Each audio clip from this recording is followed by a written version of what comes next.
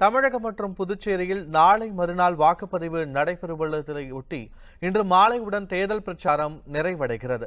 தமிழகம் மற்றும் புதுச்சேரியில் உள்ள நாற்பது மக்களவை தொகுதிகளுக்கும் தமிழகத்தில் காலியாக உள்ள இருபத்தி இரண்டு தொகுதிகளில் பதினெட்டு தொகுதிகளுக்கான இடைத்தேர்தல் நாளை மறுநாள் நடைபெறுகிறது.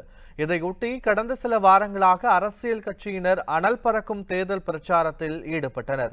முதலமைச்சர் பழனிசாமி துணை முதலமைச்சர் ஓ பன்னீர்செல்வம் திமுக தலைவர் மு க. ஸ்டாலின் மற்றும் பல்வேறு அரசியல் கட்சிகளின் தலைவர்கள் மாநிலம் முழுவதும் சூறாவளி தேர்தல் பிரச்சாரம் மேற்கொண்டனர்.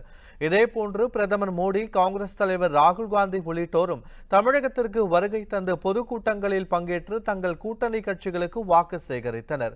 தேர்தலில் போட்டியிடும் வேட்பாளர்கள் மற்றும் நடிகர் நடிகைகள் மற்றும் பல்வேறு அமைப்புகளை சேர்ந்தவர்களும் பிரச்சாரத்தை மேற்கொண்டனர். இந்த நிலையில் தமிழகம் மற்றும் புதுச்சேரியில் நாளை மறுநாள் வாக்குப்பதிவு நடைபெறவுள்ளதை ஒட்டி இன்று மாலையுடன் தேர்தல் பிரச்சாரம் முடிவடைகிறது. இதையடுத்து இன்று அரசியல் கட்சி தலைவர்கள் உச்சக்கட்ட தேர்தல் பிரச்சாரத்தில் ஈடுபட உள்ளனர். இதேபோன்று இரண்டாம் கட்ட தேர்தல் நடைபெறும் மாநிலங்களிலும் தேர்தல் பிரச்சாரம் இன்று மாலையுடன் நிறைவடைகிறது. கர்நாடக மாநிலத்தில் உள்ள பதினான்கு தொகுதிகள் மகாராஷ்டிராவில் பத்து தொகுதிகள் அசாம் மற்றும் பீகார் மாநிலங்களில் தலா ஐந்து தொகுதிகள் உட்பட உத்தரப்பிரதேசம் மேற்கு வங்கம் உள்ளிட்ட மாநிலங்களிலும் தேர்தல் பிரச்சாரம் இன்று மாலையுடன் முடிவடைகிறது. இதையொட்டி அரசியல் கட்சி தலைவர்கள் இன்று இறுதிக்கட்ட வாக்கு சேகரிப்பில் ஈடுபடுகின்றனர். உண்மை செய்திகளை உங்கள் கண்முன் கொண்டு வரும் காவிரி நியூஸின் யூடியூப் சேனலை சப்ஸ்கிரைப் செய்யுங்கள்.